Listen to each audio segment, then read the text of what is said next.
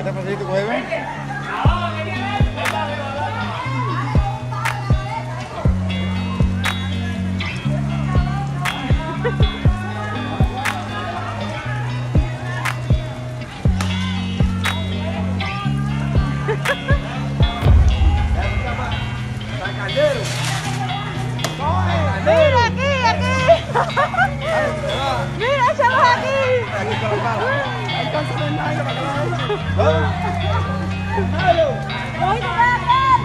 Ojito.